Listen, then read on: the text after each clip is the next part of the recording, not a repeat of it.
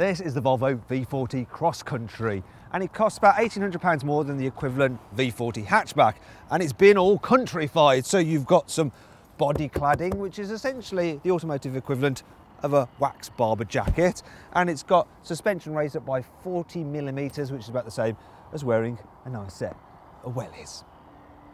Car isn't really designed for off-roading though because only the range-topping T5 version has all-wheel drive and that costs from £34,000, it's a bit expensive. The entry-level car though starts from just under £24,000, but if you click up there to go to carwow.co.uk, you can compare offers and buy a price you're confident in. So, this V40 Cross Country is identical to the V40 hatchback inside. The car's actually been around for a while now and it's starting to feel its age here on the inside when you compare it to something that's a bit more modern like the latest Mini Countryman but I can't fault the design too much. It's still very kind of simplistic as you'd expect from a Swedish car.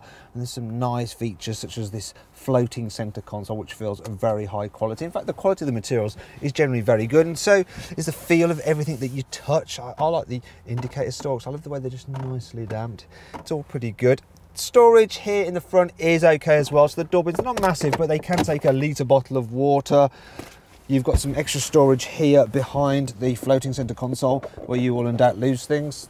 I was looking for my mobile phone, but I had actually left it on the seat there. There's some cup holders there, some more storage in here, and a huge glove box as well. And that brings us on to the infotainment system. So this is where the car really does show its age. The screen isn't that high res and the way you operate it is by this dial up here on the center console. It's a little bit fiddly to use and the system itself isn't all that intuitive. Now if you click up there you can see my full in-depth video review of the infotainment system on this car.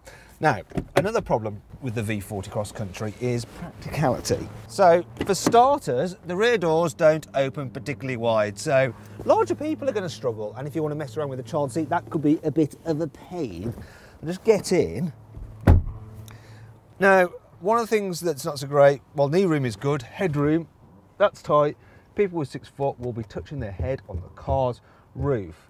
There is something I do like though. What Volvo has done is move these seats in ever so slightly. So when you're sat in the back, you're not staring at the headrest in front of you. You do get a view out of the front, which is really handy if you're going to be carrying children. They're less likely to get car sick because they can see exactly where they're going. Another feature I like is as well as a fold down armrest, you've got these cup holders there. I think they're brilliant. What's not so brilliant is the fact that the body is quite narrow. So even though the middle seat isn't all that bad, the narrow body means that carrying through the back is pretty horrible.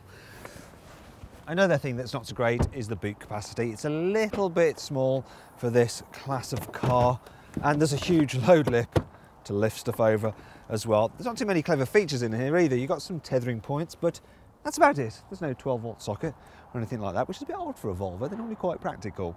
Now, if you want to carry larger items, you can of course fold down the seats, but this highlights another issue you'll see that there is this huge ridge there that makes it a bit awkward to push heavy items to the front of the car. Now for an extra 100 quid you can buy a false floor for this car and it does raise up slightly so you get rid of that ridge and you have a continuously flat floor but really that should be standard at this price Volvo, come on. Now, if you want more detail on this car's practicality, click up there to watch my detailed practicality video. See how easy it is to fit a child seat, just how much stuff you can fit in the boot, and what it's like with three adults in the back of the car. So, how does the Volvo V40 Cross Country feel when you hit the road? Now, if you're after a smart little crossover that's also fun to drive, this is probably not going to be your car. I mean, the steering, look, I'm moving it around in the corner, not much is happening. Look at that. it's not particularly responsive. So, yeah, you don't particularly want to hustle it around like you would, say, a Mini Countryman. But how do you really drive your car? I mean, do you drive it like a crazy motoring journalist trying to evaluate the chassis? Of course you blooming don't, do you? You're just cruising up and down the motorway or driving through town. And in that respect, this Volvo V40 Cross Country is more than good enough. So let's talk about the suspension. Now it's jacked up 40 millimeters over the normal V40. On the whole, it's it's more than adequate. Also, it's helped by the fact these seats are super, super comfy. The only thing is that it's no more comfy than the normal V40, so the only reason you'd buy this is because you like the more rugged looks and the fact that you can actually go over a speed hump a little bit quicker because it's higher off the ground. You're not going to buy it for its off-road ability because, well, only the range-topping T5 has all-wheel drive. And that brings me on to the engine. So this is the D4, so it's the most powerful diesel. It's a two litre.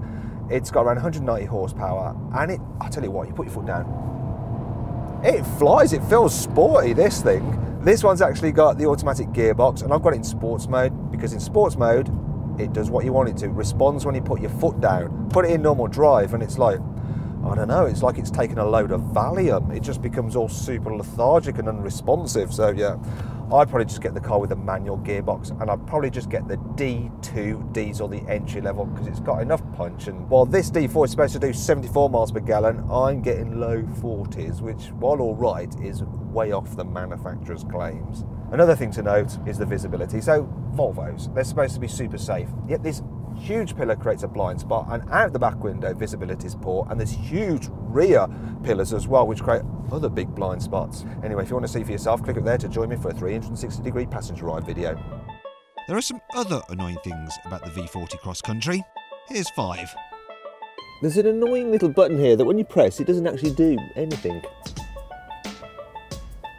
The location of the cup holders means that if you put a bottle in there, they get in the way of the handbrake and the gear lever. Ah, oh Oh, look at these tiny little numerical buttons. They're going to be nice and easy to press when you're driving along. The rear windows only open this far, so yeah, if you want to put your arm out, it's very comfortable. The extra body cladding of the cross country sticks out a little bit further, so when you get out, you sometimes wipe the back of your trousers on it, and then they get a little bit dirty.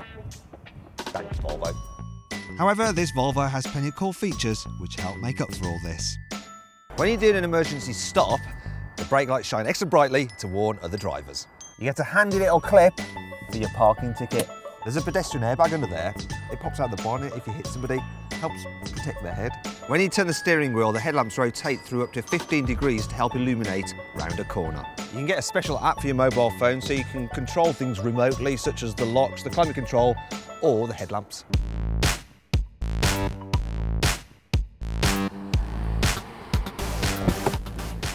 Now, if you click up there, you can go to carwow.co.uk for more information and to save an average of £4,000 on a new Volvo V40 Cross Country. So then, what's my verdict on this car? Should you avoid it? Should you consider it? Should you shortlist it? Or should you just go right ahead and buy it? Well, I reckon you should consider the V40 Cross Country. You know, it is a nice car, but its rivals are more practical. If you enjoyed this video, please like it, share it and subscribe to our channel and click on the video windows to watch some more of our excellent videos.